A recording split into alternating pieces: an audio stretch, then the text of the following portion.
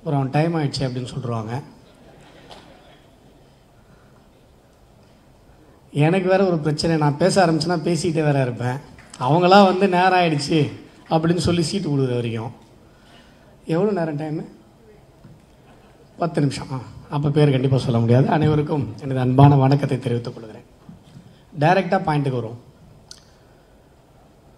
இப்போ ஒரு பிரச்சனை நடந்து கொண்டிருக்கிறது. ஒருபுறம் சனாதன தர்மத்தை பற்றின அவதூறுகளை ஒரு கூட்டம் பரப்பிக் கொண்டிருக்கிறது. சனாதன தர்மத்தின் மீதான சேற்றை வாரி இறைக்கிற வேலையை ஒரு கூட்டம் செய்து கொண்டிருக்கிறது. மற்றொரு புறம் என்ன நடக்குது அப்படின்னு சொன்னா இந்துக்களுக்கே சனாதன தர்மம் என்றால் முழுமையான புரிதல் இல்லாமல் இருக்கிறது. இதுதான் உண்மை.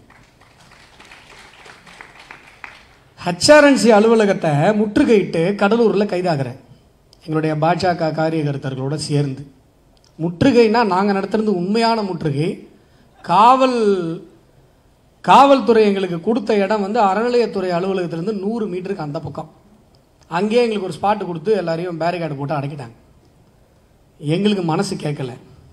முற்றுகைன்னா உண்மையிலே போய் அறநிலையத்துறை கேட் வரைக்கும் போகணும் முடிஞ்சால் உள்ளே போகணும். அதுதான் முற்றுகை. என்ன பண்ணோன்னா நான் மாவட்ட தலைவர் இன்னும் கொஞ்சம் பேர் ஒரு பத்து பேர் இந்த பக்கம் ஒரு காரில் பின்னாடி பக்கமாக வந்து காவல்துறை அங்கே நம்ம காரியகர்த்தர்களை பேரிகார்ட் போட்டு தடுத்துக்கிட்டு இருக்கு. டைரெக்டாக அறநிலையத்துறை வாசலுக்கு வந்து கேட்டு பிடிச்சி ஆடிட்டோம் அங்கே காவலெலாம் அங்கே காவலில் காவலர்கள்லாம் பதறி போய் எங்கள் பக்கம் ஓடி வரும்போது அங்கேருந்து நூறு பேர் எங்ககிட்ட வந்துட்டாங்க டைரக்டா முற்றுகை போட போராட்டம். அறநிலையத்துறை அலுவலகத்தினுடைய மாவட்ட அலுவலகம் அந்த போர்டோடு இருக்கும். நாங்கள் போய் ஆர்ப்பாட்டம் அறப்போராட்டம் நடத்திய இடம். இதுதான் ஆக்சுவலான அறப்போராட்டம். இங்கே எல்லாருமே அறப்போராட்டம் அறப்போராட்டம் பல விஷயங்களை சொல்லிட்டு இருக்காங்க. அறத்திற்காக நடக்கிற போராட்டம் அறத்தை காப்பதற்காக நடந்த போராட்டம். அப்புறம் எல்லாரையும் அரெஸ்ட் பண்ணி அரெஸ்ட் பண்ணி கொண்டு போய் ஒரு மண்டபத்தில் உட்கார வச்சிட்டாங்க. நான் அடிக்கடி கட்சியில் உள்ளுக்குள்ளே பேசும்போது சொல்லுவேன் அடிக்கடி அரெஸ்ட் ஆகணும். அரெஸ்ட் ஆகி கொண்டு போய் மண்டபத்தில் உட்கார வச்சாங்கன்னா செலவு இல்லாமல் ஒரு மீட்டிங் நடத்திட்டு வந்துடலாம். ஏன்னா மண்டப செலவு அவங்க அவங்க பார்த்துப்பாங்க. மதிய சாப்பாடு வந்துடும் சாயங்காலம் டீயோட ஒரு ஃபுல் ஃப்ளெஜ்டு மீட்டிங்கை முடிச்சிடலாம் அப்படின்னு அடிக்கடி சொல்லுவேன். அது மாதிரி ஒரு மீட்டிங்காக அது நடந்து போச்சு. சரி அப்படின்னு சொல்லிட்டு எனக்கு இன்னொரு பழக்கம் என்னன்னா உண்ணா நான் கலந்து கொள்ளுகிற உண்ணாவிரதங்கள் நான் தலைமை தாங்குகிற உண்ணாவிரதங்கள் இந்த மாதிரி அரெஸ்ட் ஆகிருக்கிற இடத்தெல்லாம் அதுவரை அந்த மாவட்டத்தில் பேசாதவர்கள் பேச வேண்டும்னு ஒரு விதி. இது வரைக்கும் பேசினவங்க யாரும் பேசக்கூடாது புதுசாக பேசுகிறவங்க பேசணும் அப்படின்னு சொல்லிட்டு. புதுசாக பேசுகிறவங்கள எழுப்பி ஒவ்வொருத்தராக பேச சொல்லிகிட்டே இருக்கோம். அப்போ திடீர்னு எனக்கு ஒரு யோசனை.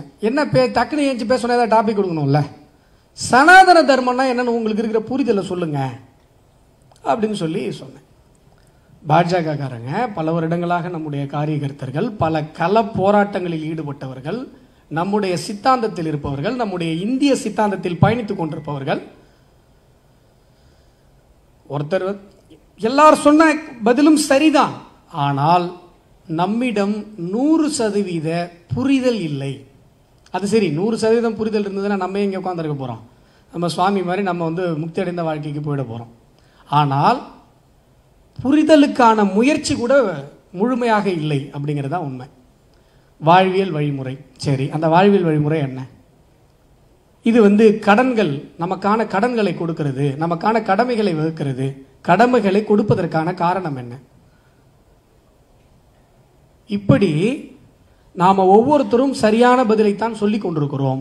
இருந்தாலும் கூட இங்கே பிரச்சனை என்ன அப்படின்னு சொன்னால் முழுமையான புரிதல் நம்மவர்களிடமே இல்லை. ஏன்னா நம்முடைய தமிழ் சமூகம் ஆன்மீகத்தை பற்றிய உரையாடல் அறத்தை பற்றிய உரையாடல் தர்மத்தை பற்றிய உரையாடல் என்பது நம் தமிழ் சமூகம் முழுதும் ஒரு காலத்தில் நிரம்பி இருந்தது நண்பர்களே. இன்றைக்கு நம்மிடம் அந்த உரையாடல் இல்லை. பட்டினத்தார் கதையில் ஒரு காட்சி வருது. பட்டினத்தார் என்ன பண்றாருன்னா அந்த அறுவடை முடிந்த அந்த நெல் வயல்ல குத்திக்கிட்டு இருக்கும் பாருங்க. அதில் படுத்திருக்கார். வரப்பில் தலையை வச்சு படுத்திருக்கார். அங்கே வந்து ரெண்டு பெண்கள் வந்து தண்ணி குடம் தூக்கிட்டு போகிறாங்க அப்போ வந்து ஒரு பெண் சொல்லுது பாரு அந்த வயலில் அந்த வழியில் படுத்திருக்காரு பாரு. எவ்வளோ ஒரு முக்தி அடைந்த ஒரு ஒரு துறவி ஒரு ஒரு சாமி. உடனே அந்த இன்னொரு பொண்ணு சொல்லுது ஆமாம் அவருக்கு அப்புறம் ஏன் தலையில் வரப்பு வரப்பில் தலையை வச்சு படுத்திருக்காரு? அவருக்கு அந்த சுகம் தேவைப்படுது. உடனே பட்டினத்தார் யோசிக்கிறார் ஆமாம் இல்லை பாரு நம்ம இவ்வளோ தூரம் இருக்கோம் அந்த வரப்பில் தலையை வச்சு படுத்திருக்கோமே. அப்படின்ட்டு வரப்புலேருந்து தலையை கீழே இறக்கி சாதாரணமாக படுத்துக்கிட்டார். அந்த ரெண்டு பெண்களும் என்ன பண்ணுறாங்க தண்ணியை ஆற்றுக்கு போனவங்க தண்ணியை தூக்கிட்டு திருப்பி வராங்க. உடனே அந்த பொண்ணு சொல்லுது பாத்தியா நீ சொன்ன அவர் பார் வரப்புலேருந்து கூட தலையை இறக்கி வச்சு படுத்துட்டார். உடனே அந்த பொண்ணு சொல்லுச்சு அவர் உண்மையான சாமியாராக இருந்தால் நான் சொல்கிறது அவர் ஏன் கேட்குறாரு இதில் விஷயம் என்னென்னா முக்தி என்பதை பற்றிய புரிதல் ஆன்மீகம் பற்றின புரிதல் இந்து தர்மம் பற்றின புரிதல் அறம் பற்றின புரிதல் நம்முடைய தமிழ் சமூகத்தில் அனைவருக்கும் இருந்திருக்கிறது நண்பர்களை. அந்த தண்ணி குடம் தூக்கிட்டு போற பெண்களுக்கு முக்தினா என்ன? நீத்தார் பெருமைனா என்ன? இன்பங்களை தூர துறப்பது என்று என்னால் என்றால் என்ன? ஆசைகளை துறப்பது என்றால் என்ன? என்று தெரிந்திருக்கிறது. இதே பேசு தமிழா பேசு சேனல்ல தம்பிங்கெல்லாம் என்ன கேள்வி கேட்டாங்க. அது அவங்களே வந்து சங்கிகளால் கிடைத்த சமூக நீதின்னு ஒரு அரு- அருமையான ஒரு தலைப்பு. ஆக்சுவலாக நம்ம பேசுனதுல அந்த தலைப்பை போட்டு நான் என்ன சொன்னேன்? இங்கே இருக்கிற சமூக நீதி விஷயங்கள் எல்லாம் சங்கிகளால் தான் கிடைச்சது. ராமானுஜர் சங்கி வள்ளலார் சங்கி பாரதி சங்கி இங்கே கிடைத்தது எல்லாமே சங்கிகளால் தான் இங்கே சமூக நீதி கிடைத்தது. ஆயிரத்தி தொள்ளாயிரத்தி முப்பத்தி ஒன்பதில் ஆலய நுழைவு சட்டத்தை கொண்டு வந்த ராஜாஜி சங்கி கோயிலுக்குள் கொண்டு போன வைத்தியநாத ஐயர் ச- சங்கி இந்த கோவிலுக்குள் கொண்டு போகும்பொழுது யாராவது எதிர்த்தால் நான் நிற்கிறேன் என்று அறைகோல் விடுத்த பசும்பொன் முத்துராமலிங்க தேவர் சங்கி. எப்படி சிக்காகோவில் நம்முடைய விவேகானந்தர் ஆற்றிய உரை ஒரு முக்கியத்துவம் வாய்ந்த உரையோ அதே போன்று காசி பனாரஸ் பல்கலைக்கழகத்தில் நம்முடைய பசும்பொன் முத்துராமலிங்க தேவர் இந்து தர்மம் என்கிற தலைப்பில் ஆற்றிய உரை அவ்வளவு முக்கியமான ஒரு உரை. இந்த இந்து தர்மத்தில் இருக்கிற இந்த ஜாதி ஏற்றத்தாழ்வுகள் இருக்கிற இல்லை வருணாசிரமம் என்கிற கர்மயோகத்தை நடைமுறைப்படுத்துவதற்காக கொண்டு வரப்பட்ட அந்த ஒரு விஷயத்தில் இருக்கிற அந்த வருணாசிரம தர்மத்தில் மனிதர்கள் செய்த தவறு. சிஸ்டம் இல்லை. மனிதர்கள் செய்த தவறு. மக்களாட்சிங்கிறது ஒரு அருமையான தத்துவம் தானேங்க? மக்களாட்சிங்கிறது ஒரு அருமையான தத்துவம். யார் வேண்டுமானாலும் அரசராக மாற முடியும். எளிமையான மக்கள் இருந்து அரசாட்சிக்கு வர முடியும். மக்களினுடைய செல்வாக்கை பெற்ற ஒருவர் அரசாள முடியும். இந்த அருமையான சிஸ்டத்தை திமுக காரங்க இன்னைக்கு வேஸ்ட் பண்ணாங்களா இல்லையா? யோசிச்சு பாருங்க. வேஸ்ட் பண்ணிட்டாங்களா? அப்பா புள்ள பேரன் இப்போ அடுத்து அவங்க பையன் இன்பநிதி. அவர் கூட்டு வர்றாரு கவர்மெண்ட் ஃபங்க்ஷனுக்கு இப்போ மக்களாட்சி என்கிற ஒரு அருமையான தி- தத்துவம் தனி மனிதர்களால் எப்படி தவறாக வழியில் திசை திருப்பப்பட்டதோ அது போலத்தான் வருணாசிரம தர்மம் என்கிற தத்துவம் மனிதர்களால். நீ மேல நான் கீழே நான் மேல நீ கீழே ஆயிரம் ஜாதி இந்த பிரச்சனை எல்லாம் வந்தது. சிம்பிளாக சொல்கிறேங்க அயன் பண்ணுறவர் பையன் அயன் பண்ணணுங்கிறது இல்லைங்க வருணாசிரம தர்மம். அப்பா அயன் அயன் பண்ணுறார் துணி வெளுக்கிறார். அவங்க பையனும் அதே தொழிலுக்கு வரணுன்றது வருணாசிரம தர்மம் கிடையாது. நான் அயன் பண்ணுறதுக்கு சட்டை போடுறப்ப பரந்தாப்பில் ஐநூறுரூவாயை வச்சுட்டேன். அந்த ஐநூறுரூபான்றது அவர் அயன் பண்ணுறதுக்கு ஒரு துணி பத்து ரூபா தானே தரோம். ஐநூறுரூவான்றது பெரிய காசு தானே. அந்த ஐநூறு ரூபாயை எடுத்துட்டு வந்து சார் பாக்கெட்ல தெரியாம வச்சிட்டீங்கன்னு கொடுக்குறாரு பாத்தீங்களா? அதுதான் வருணாசிரம தர்மம். நான் செய்கிற தொழிலை இறைபக்தியோடு இறைவனுக்கு நெய்வேத்தியமாக செய்ய வேண்டும் அப்படிங்கிறது தான் வருணாசிரம தர்மமே ஒழிய கர்மயோகத்தை பின்பற்றுவதற்கான ஒரு நடைமுறை தானே வருணாசிரம தர்மம் ஒழிய அது வந்து ஏற்றத்தாழ்வுகளுக்கான விஷயமாக மாறி போனது தனி மனிதர்கள் செய்த தவறு. அந்த தனி மனிதர்கள் செய்த தவறு யாரால் திருத்தப்பட்டது அப்படின்னு சொன்னா இந்து தர்மத்தை நம்புகிற சங்கிகளால தான் திருத்தப்பட்டது. நீ அப்படி ஈக்குவாலிட்டி மேல ரொம்ப க க- கரிசனப்படுறவனா இருந்தா நீ ஈக்குவாலிட்டி மேல ரொம்ப அக்கறைப்படுறவனா இருந்தா அதை முதல்ல திமுகவில் செஞ்சு கிழி அப்புறம் வந்து இங்க பேசு. நீ சபாநாயகர் ஆன மாதிரி படம் எடுக்கிற ஆட்சி உங்களில் தானே இருக்கு சபாநாயகர் ஆக்க வேண்டியதானே துணை முதல்வர் ஆக்க வேண்டியதானே முதலமைச்சர் ஆக்க வேண்டியதானே நாங்கள் ஆக்கியிருக்கோம்ல. இன்றைக்கு அமைச்சராக விட்டு இருக்கிறார் அருந்ததிரி சமூகம். எதுக்கு சொல்றேன்னா பட்டியல் சமூகத்தில் ஓட்டு கம்மியாக இருக்கிற ஒரு சமூகம். அமைச்சர் ஆக்கியிருக்கமே டாக்டர் எல் முருகன்ஜி அவர்களை. நீங்கள் ஆக்குங்க ஒரே ஒரு பீரியடு திமுக தலைவர் ஆக்குங்க பட்டியல் சமூகத்திலேருந்து. நீங்கள் ஊருக்கு வந்து ஓஹோ நாங்கள் வந்து சோஷியல் ஜஸ்டிஸ் பார்த்தீங்களா சீட்டு கொடுத்துட்டாங்க.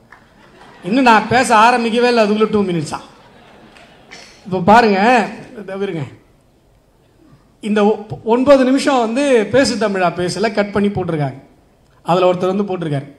என்ன நீங்கள் பத்து நிமிஷமாக விளக்கிட்டு இருக்கீங்க? சனாதன தர்மம்னா என்னன்னு. முப்பது செகண்டில் விளக்குனா தான் நம்ம ஆளுங்க கேட்பாங்க. இதே முப்பது செகண்டில் விளக்குனா தான் நம்ம ஆளுங்க கேட்பாங்க. இப்போ பிரச்சனை என்னென்னா சனாதனம் என்பது ஒரு மிகப்பெரிய கடல். இந்து தர்மம் என்பது சனாதன தர்மம் என்பது ஒரு மிகப்பெரிய கடல்.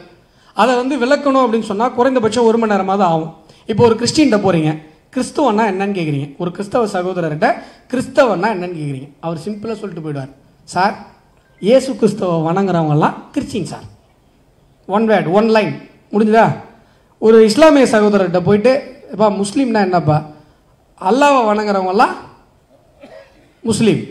இப்போ இந்துக்கள்கிட்ட போய் கேட்கும் பொழுது இந்துவால இந்த மாதிரி ஒரு லைன்ல ஆன்சர் பண்ண முடியல. அதுதான் இங்க பிரச்சனை காரணம். உண்மை அதான் ஓப்பனாக உடைச்சிடறேன் டைம் இல்லை. முப்பது செகண்ட் இல்லை. மூணு செகண்ட்ல சொல்லட்டுமா? இந்து தர்மம்னா என்னன்னு? யாதும் ஊரே யாவரும் கேளீர். இதுதான் இந்து தர்மம்.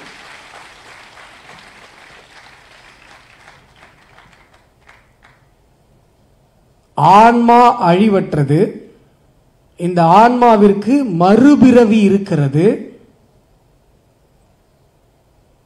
இந்த ஜென்மத்தில் செய்கிற பாவ புண்ணியங்கள் அடுத்த ஜென்மத்தில் நம்மை தாக்கும். பாவ புண்ணிய கணக்குகளை முடித்துக்கொண்டு இந்த பூமியின் மீதான பற்றை துறந்து நம்முடைய பிறப்பை நாம் அறுக்கிற வரை இந்த பூமியில் நாம் பிறந்து கொண்டே இருப்போம்.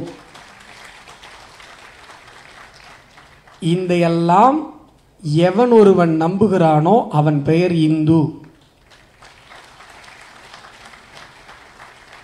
இன்னும் சுருக்கமாக சொல்லணும் அப்படின்னு சொன்னால் மறுபிறவி தத்துவம் என்கிற கோட்பாட்டை நம்புகிற மனிதனின் பெயர் இந்து. கிறிஸ்தவ சமூகத்திடம் மறுபிறவி நம்பிக்கை இல்லை. ஒரு முறை பிறப்பதும் ஒரு முறை நியாய தீர்ப்பு அடைவதும் மனிதனுக்கு விதிக்கப்பட்டிருக்கிறது. இதுதான் பைபிள் சொல்லுகிற விஷயம். இஸ்லாமும் இதைத்தான் சொல்லுகிறது. இன்னொரு விஷயம் நீங்கள் ஆழமாக யோசிச்சு பார்க்கணும். இது நாகரீகங்களுக்கும் மதத்திற்கும் நடக்கிற சண்டை நண்பர்களே. சிவிலைசேஷன் இந்து என்பது மதம் அல்ல அது நாகரீகம். நீங்க நல்ல ஆழமா யோசிச்சு பாருங்க. மெசபட்டோமியா சுமேரியா கிரேக்கம் உலகத்தினுடைய ஆதி நாகரிகங்கள் அத்தனையும் மறுபிறவி தத்துவத்தை ஏற்றுக்கொண்டிருந்தது. ஆன்மா பற்றிய அறிவியலை செய்து கொண்டிருந்தது.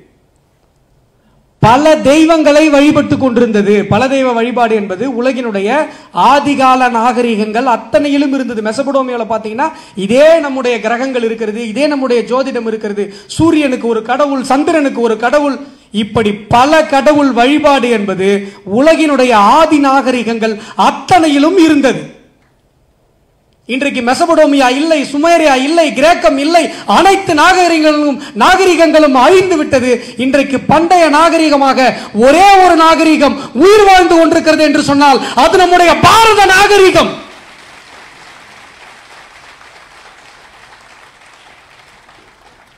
இன்னொரு விஷயம் நீங்க நல்லா யோசிச்சு பாருங்க.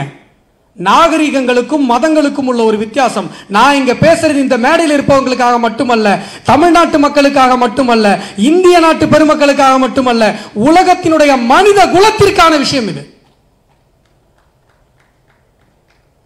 இறையியலும் அறிவியலும் ஒன்றாக கலந்து ஒன்றோடு ஒன்று உறவாடி உயர்ந்து கொண்டிருந்தது நாகரிகங்கள்ல. அரப்போ முகஜதுரவை ஆரம்பிங்க. கீழடியை பாருங்க. நம்முடைய பாரத கலாச்சாரத்தை பாருங்க. சங்க இலக்கியங்களை பாருங்க. மெசபடோமியாவை பாருங்க. சுமேரியாவை பாருங்க. உலகினுடைய மாயோன் மாய மாயோ மாயர்களுடைய வாழ்க்கையை பாருங்க. மத்திய அமெரிக்காவினுடைய மக்கள். அறிவியலும் இறையியலும் கலந்து கொண்டிருந்தது.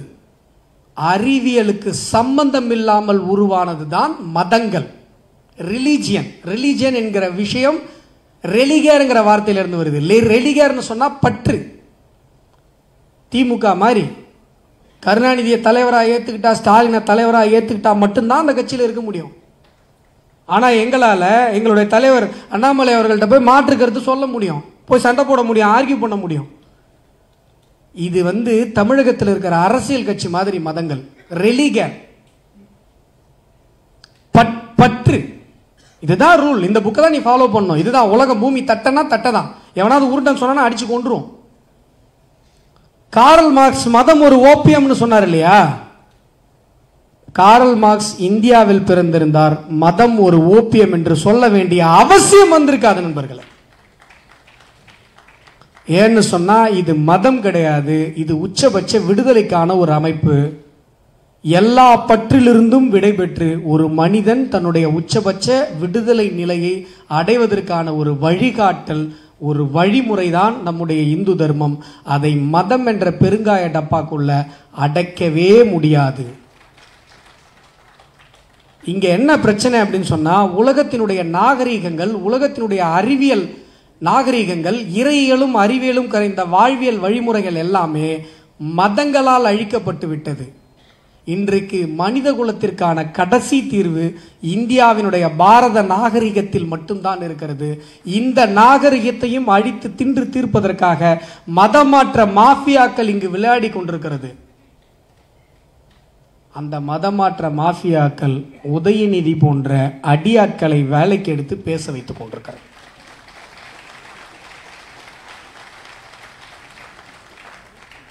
கொஞ்ச நாளைக்கு முன்பு ஒரு கிறிஸ்தவ பாதிரியார் சொல்கிறார் இந்த நீங்கள் இன்றைக்கு இருக்கிற ஆட்சி நாங்கள் போட்ட பிச்சை என்று சொல்லுகிறார்.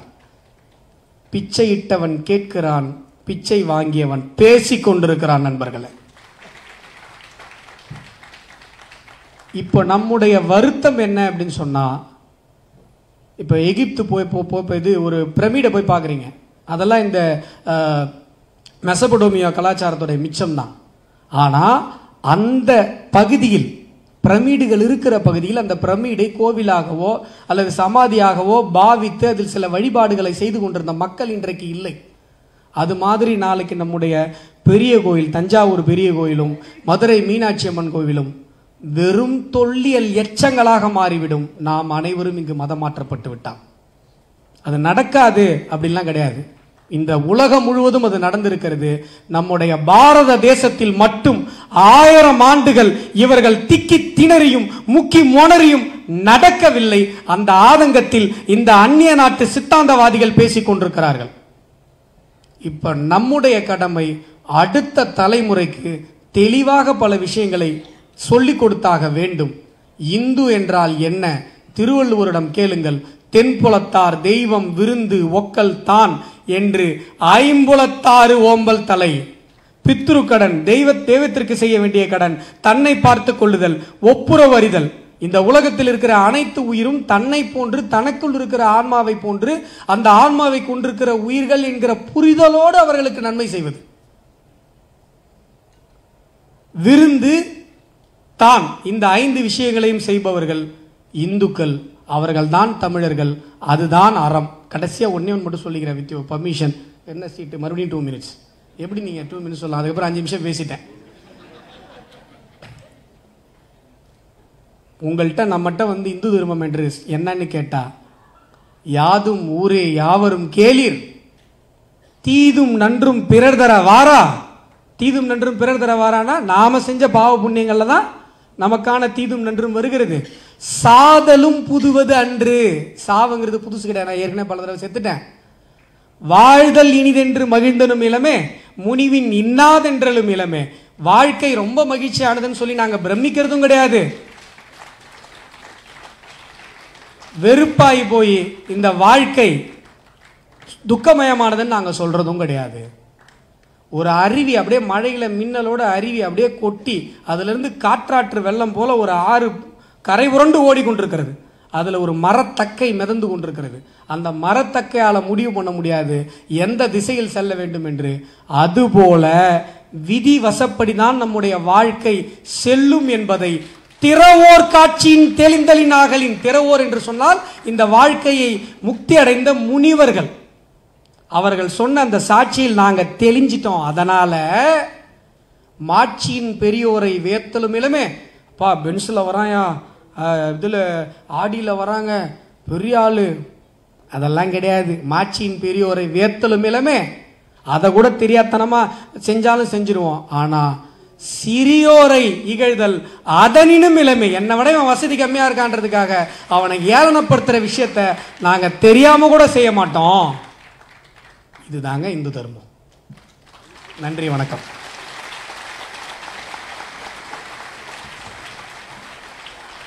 அருமையாக இந்து தர்மம் என்ன என்பதை யாதும் ஊரே யாவரும் கேளிலிருந்து சிறியோரை இகழ்தலும் இலதே என்று சொல்லி தன்னுடைய கருத்தை பரிவி பதிவு செய்த திரு அஸ்வத்தாமன் அவர்களுக்கு நன்றியை தெரிவித்துக் கொள்கிறோம். அடுத்ததாக திரு ராம ரவிக்குமார் அவர்கள் இப்பொழுது மிகவும் பிரசித்தமாக இருக்கக்கூடிய மாடல் பற்றி பேசுகிறார். சனாதன மாடல்